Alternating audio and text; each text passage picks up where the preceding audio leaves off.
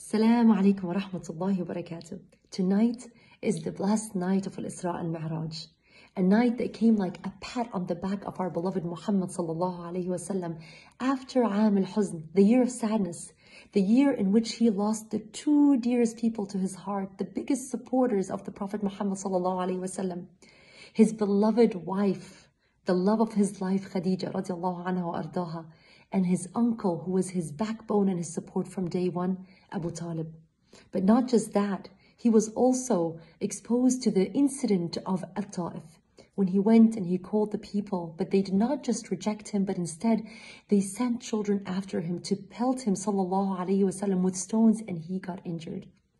And Allah subhanahu wa ta'ala hears his word of words of sadness and he sends him Angel Jibreel. And Angel Jibreel tells him, Allah is telling you, the angel of mountains is under your command.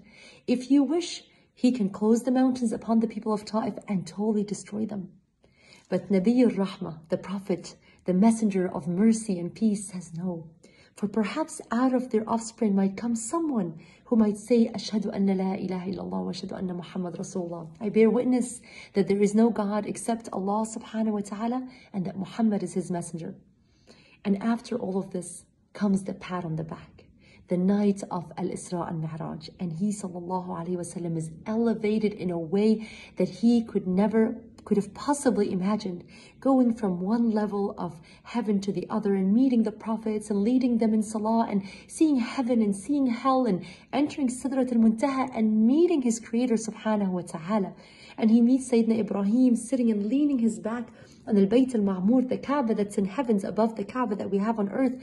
And Sayyidina Ibrahim tells him, convey my salams to your ummah, to you guys listening to me right now. Sayyidina Ibrahim alayhi salam and he tells him, Tell your ummah that the plains or that Jannah is a vast plain with pure soil and sweet water, and that the plants that you can grow in there are subhanallah, walhamdulillah, wa la ilaha illallah, wallahu akbar. Ya Allah. Every single one of us goes through years of sadness, through a year of sadness or a phase of sadness. But then with a little bit of yaqeen and certainty in Allah subhanahu wa ta'ala, we are elevated. Have yaqeen and look behind, look back in your days and think to yourself, was there a time that you went through where you felt the sorrow and the pain? And then after that, was there a time where you felt the pat on your back from Allah subhanahu wa ta'ala and you felt that you were elevated in ways that you were never, would have never thought you could have? Think to yourself and continue saying Subhanallah walhamdulillah wa la ilaha illallah wallahu akbar and be certain that inshallah after your sadness there will come an elevation and may it be Ya Rabb in a way that you would never ever expect, in a way that would honor you and elevate you and enter happiness upon your heart, Ya Rabb, just as He subhanahu wa ta'ala elevated His beloved in a way that He could have never ever possibly imagined. Assalamu alaikum wa rahmatullahi wa barakatuh.